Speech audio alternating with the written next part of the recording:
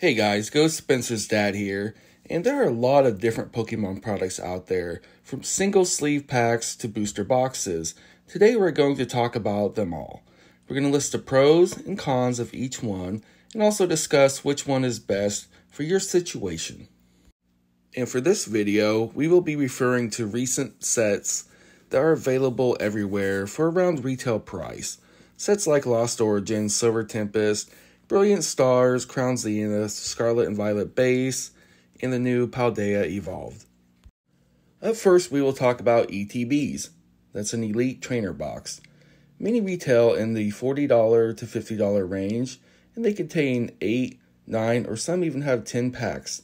They contain some sleeves to protect your cards, some dice counters and a player's guidebook, and some dividers, all used in the actual gameplay and the empty box makes a great storage box. These are very popular for people who enjoy opening packs. They're very affordable for most and make a great gift for children for birthdays and Christmas. Some of the pros are the affordability, all the contents that you get in the box. There's a nice amount of packs to open up, and it is a very enjoyable experience. Now, some of the cons are that the packs are random and there are no guarantees. We have opened many Elite Trainer box and gotten no hits out of them, and $50 may be a lot to spend for some. And up next, we'll talk about single packs. These single sleeve packs are a cheap and readily available way to open some cards and have some fun. Most are in the 5 to $6 range and can be found about just anywhere that you already shop. Some of the pros are the price. You can just grab a pack or two whenever needed. They're in the checkout lanes. You can just throw one in the cart. And they make a great anytime gift for yourself or anyone you know who likes Pokemon.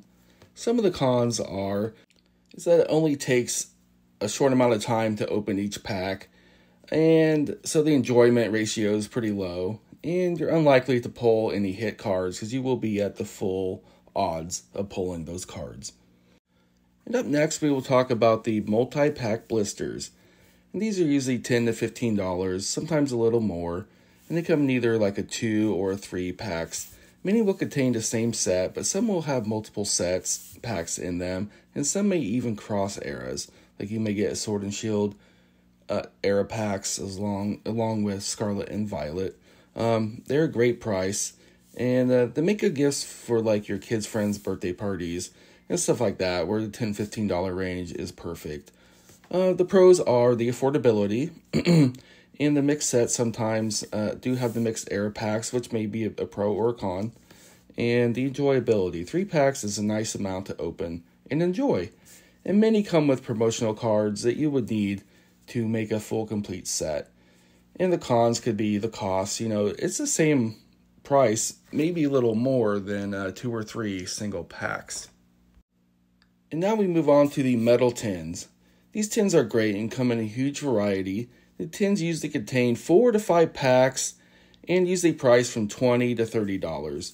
They usually also contain a promo card. Some of the pros are the tins can be very useful for storage.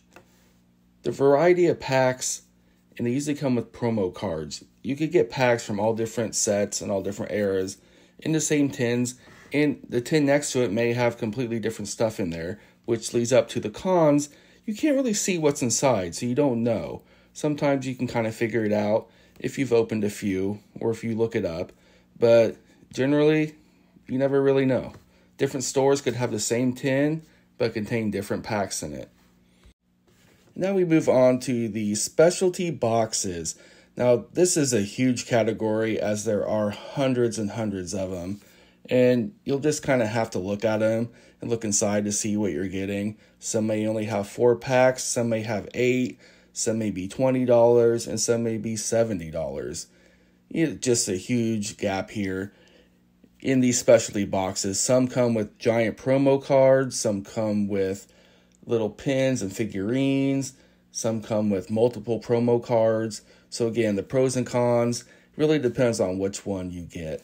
I'll post a picture of a whole bunch of different ones up here so you guys can kind of see kind of what I'm referring to on these. These actually probably make the best gift just from the wide variety of what you can get in them. and who you're giving them to. You know, are you giving it to your own child? Is it a gift for somebody else? Is it a gift for yourself?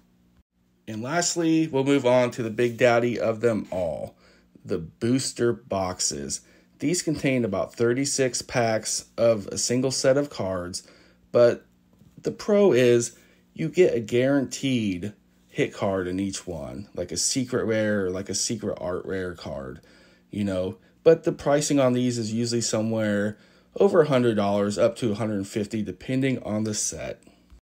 Thanks for watching, guys. I hope this buyer's guide really helps you out in picking out which Pokemon products you like. Come join us over at Go Spencer. We open up a lot of cards on the channel and have a lot of fun doing it. Consider liking and subscribing. Click that bell icon to get notified every time that we post new videos.